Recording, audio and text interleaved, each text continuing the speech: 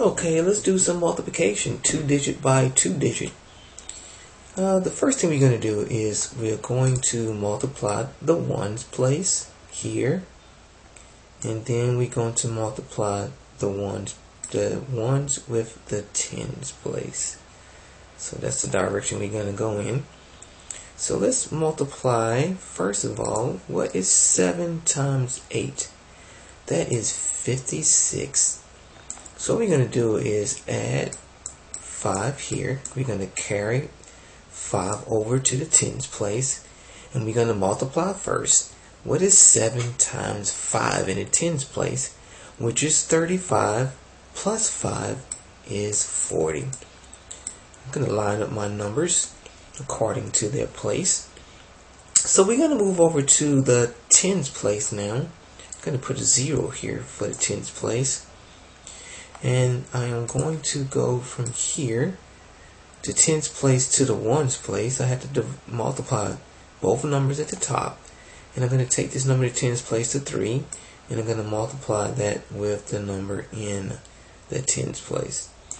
So let's do 3 times 8 which is 24 so what I'm going to do is scratch out this 5 because I use that for the ones place. Now I'm going to say carry over the 2 for the tens place. I did 3 times 8. Now I need to do 3 times 5 is 15 plus 2 is 17. So we make this 1 look a little better there. We know that's a thousand. So now what I need to do is add. So 6 plus 0 is 6. 0 plus 4 is 4. 4 plus 7 is 11. I'm going to carry, make this look a little better at 1. Whoa. Okay, just a 1. Going to carry over 1 to the thousands place. So 1 plus 1 is 2. So our final answer is 2,147. Okay, so let's look at another multiplication problem two digit by two digit. We're going to follow the same procedure. Just like the first one, we're going to multiply. Let's do this step by step this time, slow it down. So we're going to say 7 times 8 ones is 56. Let me write that in a different color. This is 56. Now remember, we're going to carry that over in the tens place in which we're going from right to left. So in this case, we're going to move from the ones to the tens. And we're going to carry 5 over the tens place. So now we're going to change this color. We're going to go from the ones to the tens. So we're going to multiply 7 times 2 tens. So 7 times 2 is 14. Plus 5 is 19. Move that back to black. Alright, one thing I didn't mention the first time is now that we've done with the 7, so what I would like to do is just scratch that out to indicate that I am done multiplying the ones place. So now I'm going to move over to the tens place, in which this case we have the 1 is in the tens place. So before we do that, since we're moving over to the tens place, I need to add a 0 here. Alright, now next I'm going to say 1 times 8. Okay, so now all I have to do is say 1 times 8. And that is 8. So I put that here in the tens place. The next thing I'm going to do, I'm moving over again right to left. I'm just going to trace what I did earlier. And one thing I need to do is cross this out because I use that for the ones place. I don't want to confuse that with what I'm doing in the tens place. I did 1 times 8. Now I need to do 1 times 2. So let's change that to a pink. So I'm going to go here. 1 times 2 now.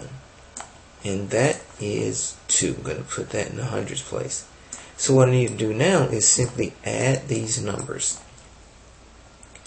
So 6 plus 0 is 6.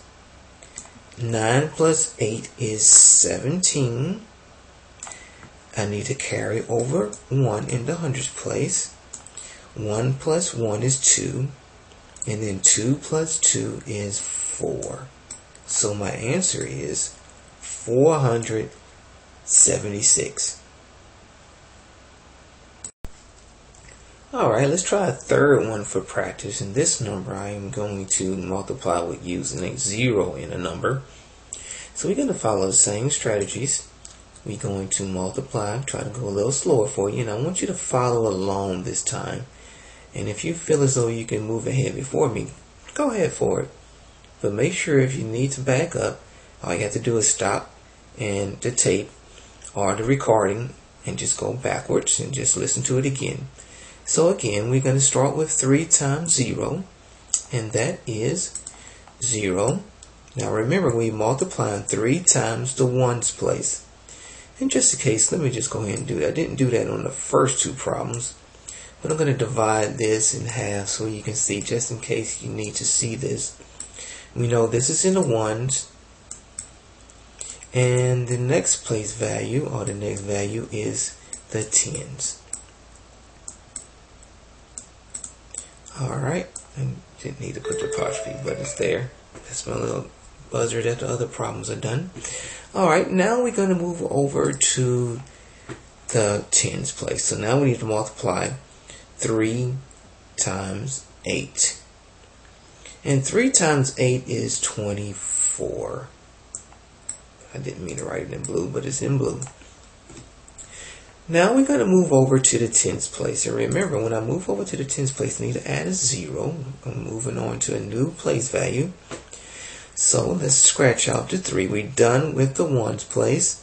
So we don't I want I don't want to confuse the three with anything that I'm move that I'm doing in the tens place. So I scratch out the three.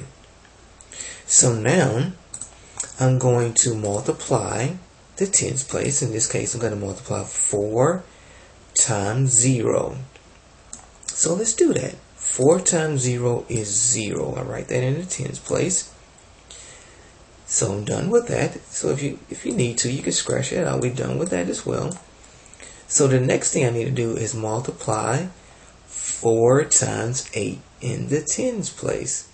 So 4 times 8 is 32.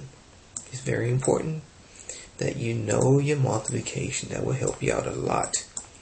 So all we have to do now just simply add. 0 plus 0 is 0. 4 plus 0 is 4. I'm about to say 0. This is 4. 2 plus 2 is 4. And we just bring down the 3. There's nothing to add that with. So our answer is 3,440.